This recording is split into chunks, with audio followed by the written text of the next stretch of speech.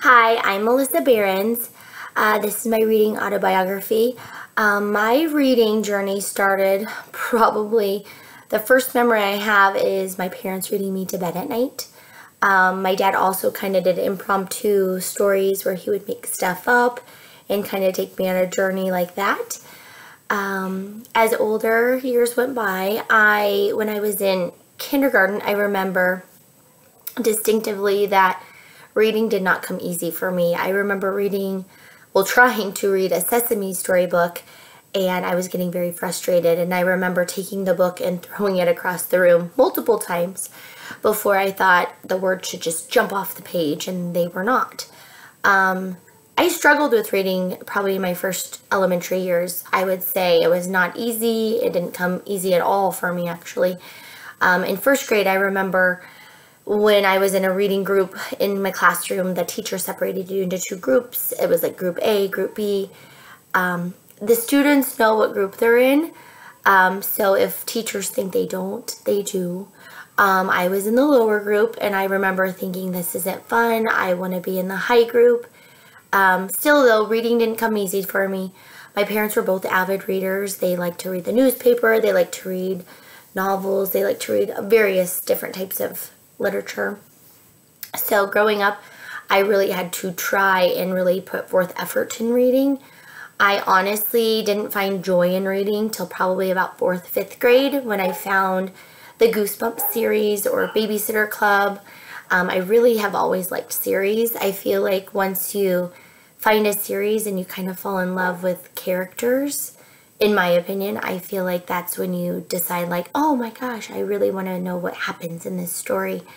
Um, in those first early years when I would read, I remember comprehension didn't always um, collide and didn't go together. Like I would read something and I felt like, I don't even know what I just read.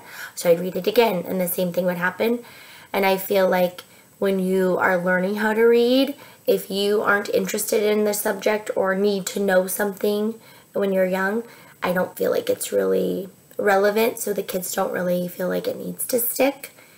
So I always said, I'm going to read a short part, think about it, and then read it again. So I kind of trained myself on how to read and how to compre comprehend and learn from those skills. Uh, the older I got, though, reading became a lot more fun. Um, the older years, I would say a series I really fell in love with was Harry Potter. I was probably not its target market, but I was in high school at the time and I just fell in love with the books. I remember reading them quick, reading them for hours at a time, trying to get in all the pages I possibly could because still I couldn't keep my eyes open. And I remember thinking, this is so fun and you kind of put yourself in the book or you want to be a part of the story. And when it's over i feel like when you really fall in love with a series you're kind of sad. Like whenever i get done with a book or a series i remember thinking oh i wonder what happened to so and so because you want to know more or you want to be a part of that.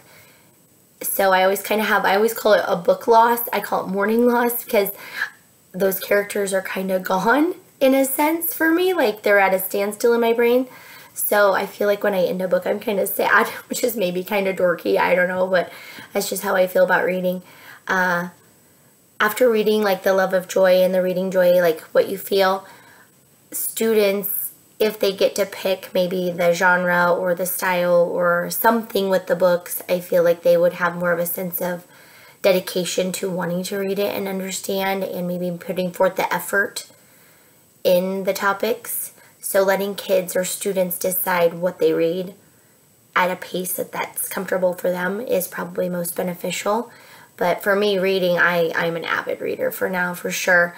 I keep saying when I'm done with my master's, I'm going to read for fun again. Right now, I'm reading to learn, not reading for fun.